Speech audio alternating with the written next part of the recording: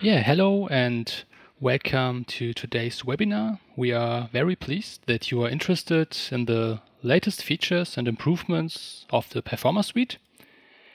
My name is Alex and today I would like to present you what's new in version 22.1. And before I start with this webinar, I want to thank all the people who gave us great input in the, in the form of feature requests or bug reports. Some of them have been included in this release as well.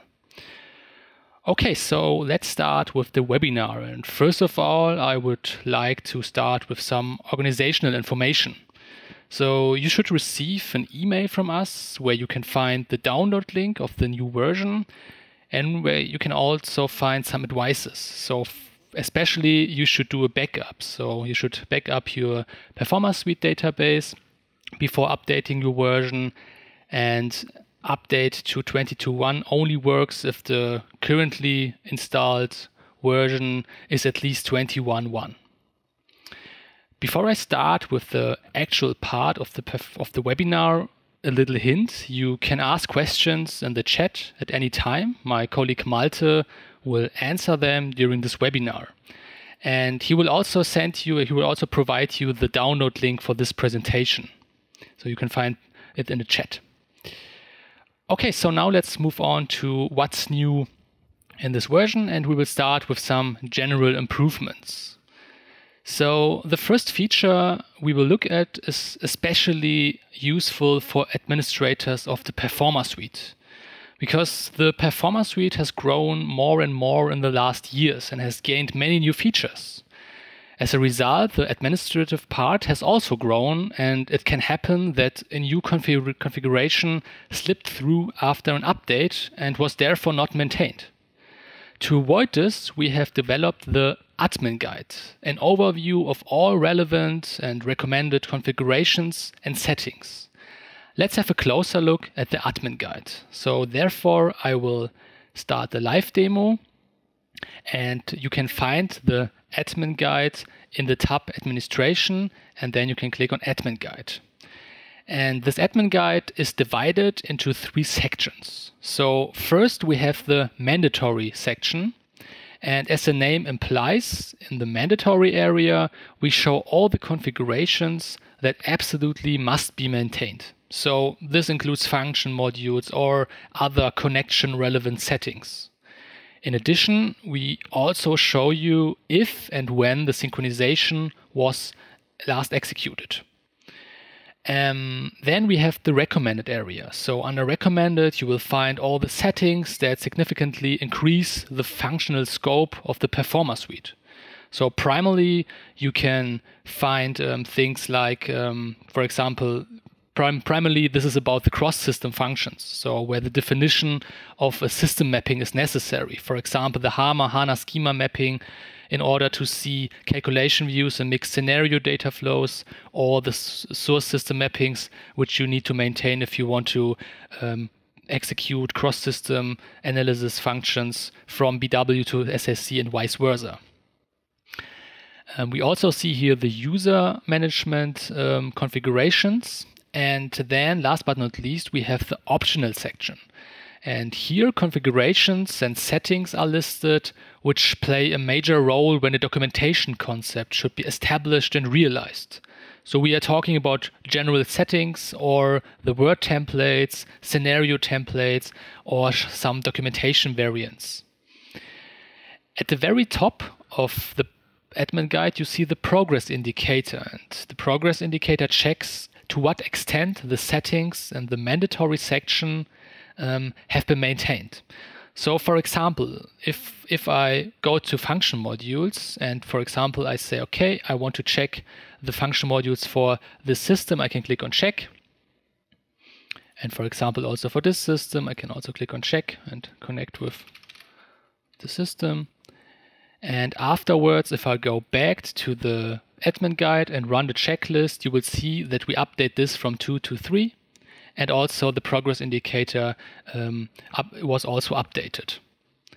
So I can only recommend you to have a look into the admin guide. You may find a setting or configuration you don't know about, and maintaining it may have the effect of making Performer Suite deliver even more valuable results. All right, so let's move on to the next point, the XSA support. So in the past, we only supported HANA XS Classic. At the same time, the topic, topic XSA is getting more and more interesting for many of our customers. And often they ask us if XSA is supported in the Performer Suite. Well, starting with version 22.1, XSA objects can be synchronized for the first time. So let's jump into the live demo and take a closer look at this topic. Therefore, I will connect with the HANA XSA system in this case. And if XSA is enabled in your license, it has an impact on the HANA synchronization. So if I go to the synchronization, you will see that we added a new filter to the calculation views. And here you have to insert the so-called HDI containers, the logical constructs within the database where the HANA objects can be found. And after inserting the HDI containers, you can simply click on Start Synchronization, and all of the HANA objects of the specified HDI containers will be synchronized. And these synchronized objects can then, for example, be documented. So I can, for example, right click on this object and click on Create Documentation and document this XSA based HANA calculation view. So there we go. I can click on this and we see that we have this documentation where we see all the columns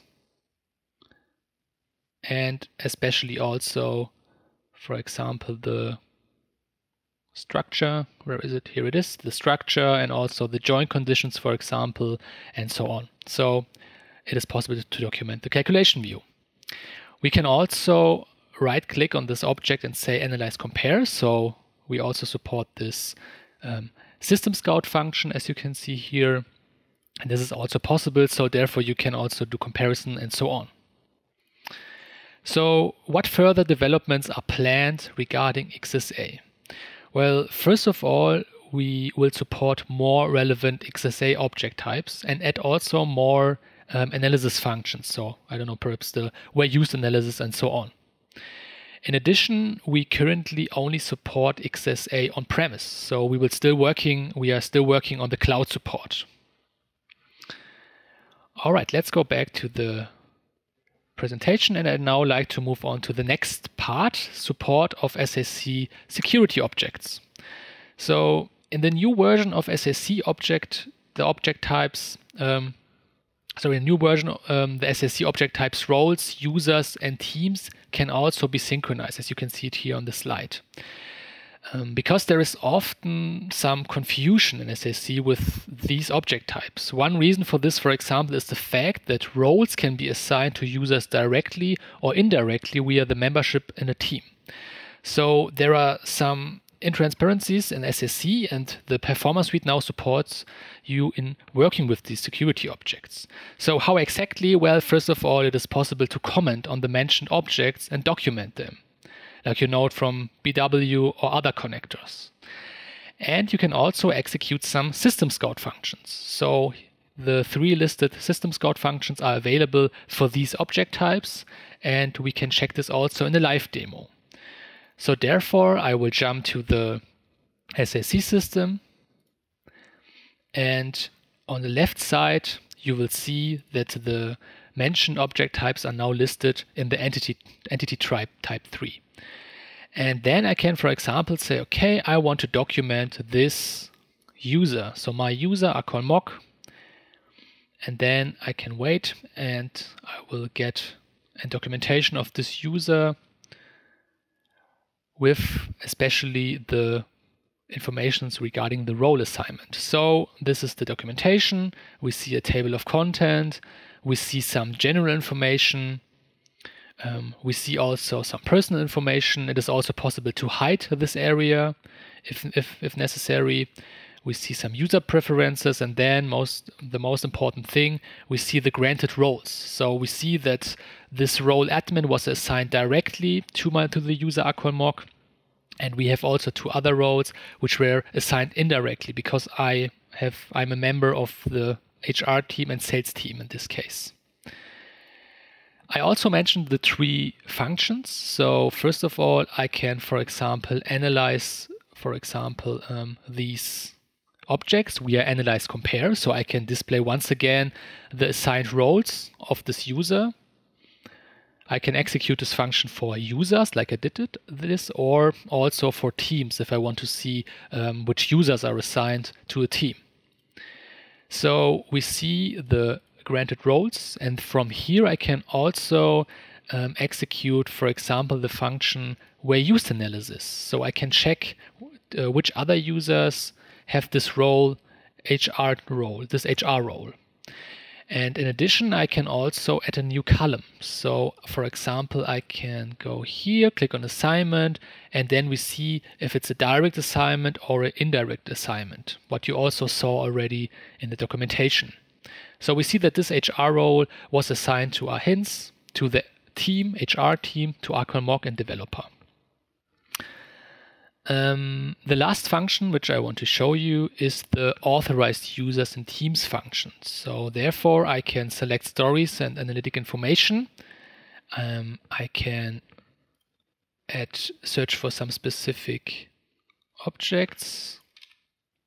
Here we go and then I can select these eight objects, right click on them once again and say authorized users and teams. And here, this is a possibility to answer the questions which users and teams have permissions to interact with the analyzed stories and analytic applications, and also in what form. So I can see that, for example, mHaring can um, share, read, and delete and update this um, in this case the story and all users are only allowed all other users are only allowed to delete and read it. So it is a nice way to get more information regarding the um, authorizations and permissions. Okay let's jump back to the presentation and we will continue with system scout and move on to the next function so most of you should be familiar with the BW data flow. And many of you should also be familiar with the fact that we only look down to the BW data source. And our view does not go deeper towards the ERP system. So this is actually exactly what we want to change in the future. And we have taken a first important step in the new version. So let's take a look um, in, this, in the tool itself. So I will connect with a BW system first of all, and then I will open the data flow from a composite provider. So here we can see the composite provider. I display the data flow.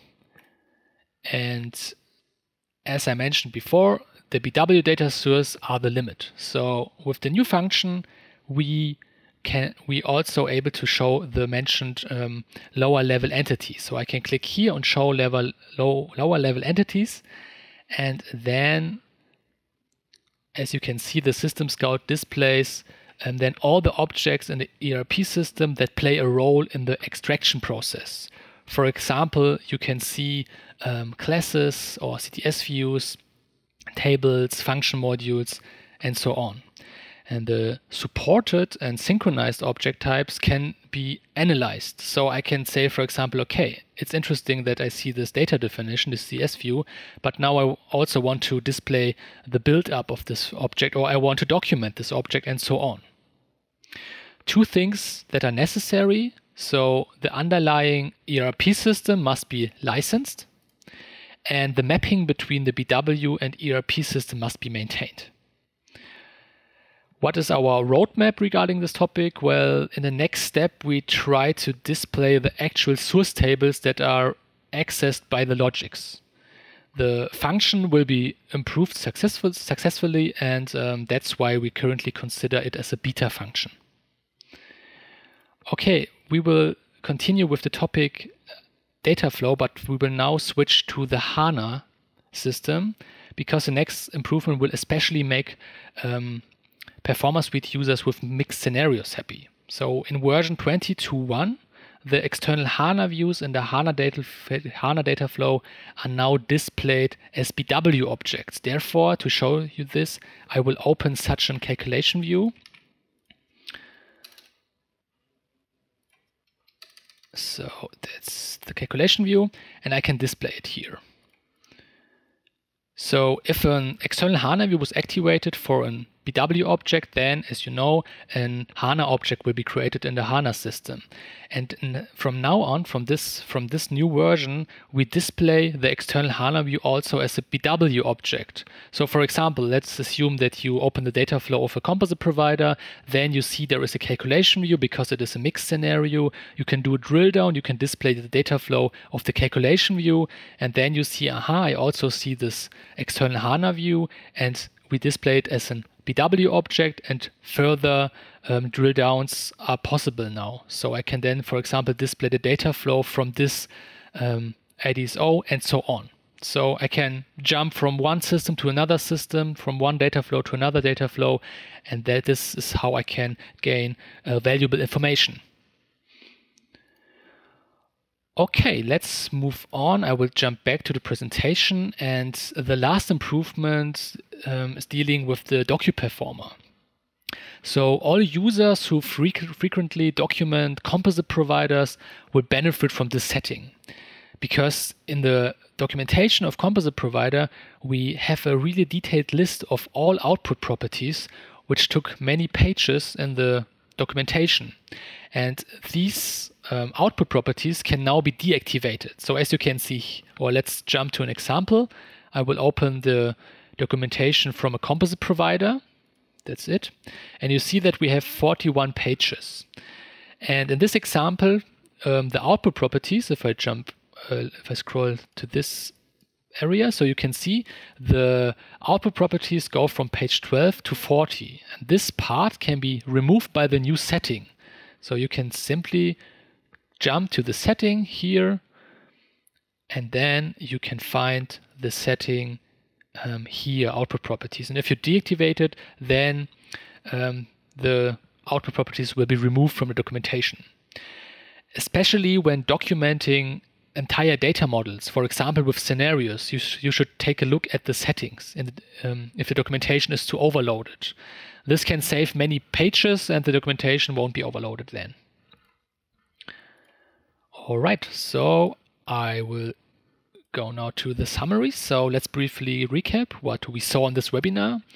So first of all, we looked at the admin guide, which provides a clear overview of the most important settings and configurations in the Performer Suite. Um, Next, we looked at how HANA XSA and SAC security objects can be synchronized, documented, and analyzed.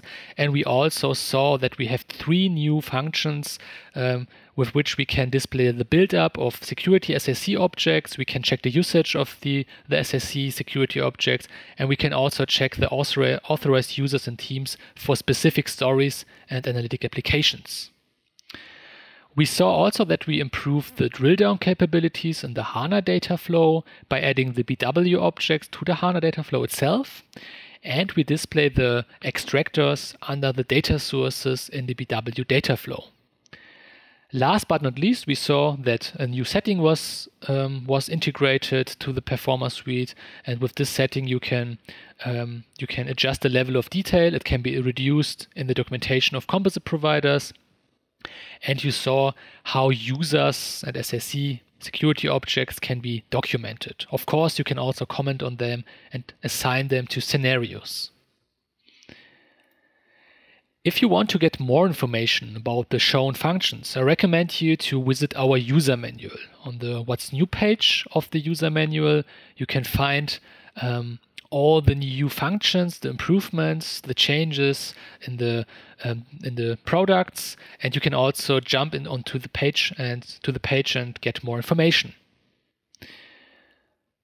And if you feel the need to learn even more about the shown functions, there is a possibility to test our products or connectors in full functionality. So feel free to contact us if you are interested.